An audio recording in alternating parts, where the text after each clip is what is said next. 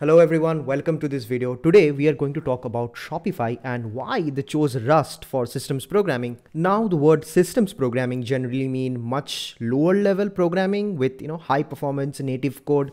For Shopify, they wanted to make things like network servers and extending Ruby with native code. For these purposes, they historically used Go and C, but they are choosing Rust now, and we will see the reasons. It is important to mention that their main backend language is still Ruby. So if they want to create some new backend component or some new backend service, they would first reach out to Ruby and not Rust.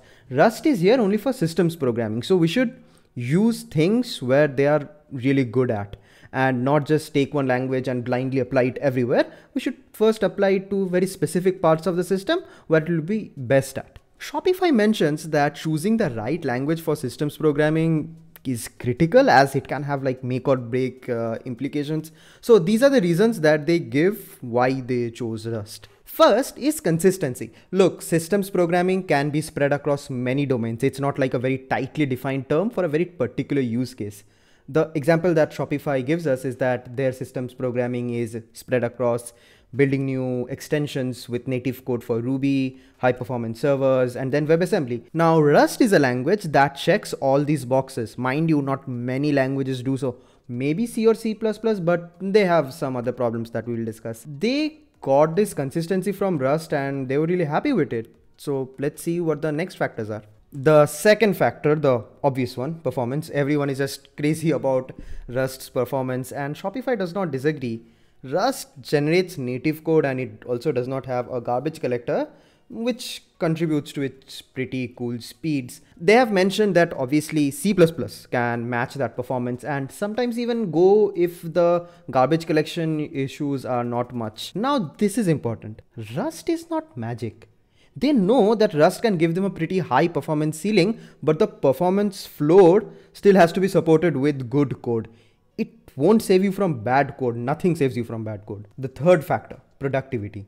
Okay, so they agree that Rust is not really known for its easy learning experience, but when Shopify's developers got to really know Rust, they were quite comfortable with it. And I'm seeing it too, like I'm trying to write more Rust and uh, learning more Rust, and I'm seeing things are getting better. You do get used to it. Now Rust already has some pretty great toolchains and IDE integrations uh, Shopify also liked their type system and macros in Rust. Now some other languages like Go might be better than Rust in this aspect, but C++ kind of loses out here and I have worked on large C++ code bases and it does get a bit hard after some point of time, especially if your code goes into that legacy territory. It does get hard. The next factor is safety. Rust's memory safety is quite cool. It shows up most errors that would make your application suffer in runtime in the compile time. So this might be data races or invalid pointers and things like that, you know. It does put more restrictions on how you write your code in Rust, but it does save you from a lot of anxiety when you deploy it to production. With this, Shopify says that they can be fearlessly parallel and they can deploy confidently. And in this aspect, Rust came out strongly above other languages. C++ would be a more difficult choice here because in terms of safety, you have to manually go around and uh, write free statements for all the objects you allocated on the heap. The fifth reason is interoperability. I don't know if I pronounced that right. It just means that uh, it works well with other components seamlessly. Rust is easier to interface with existing libraries written in C. And there is a lot of tools like BindGen to make it happen. They also found tools to make it work with Ruby, which is their primary backend language. So as Rust is playing well with everything else in their system, Rust can easily fit in. The last reason I want to point out is Rust's community. Turns out Shopify really likes them and they have also joined Rust's foundation. They like Rust's governance model and the RFC structure.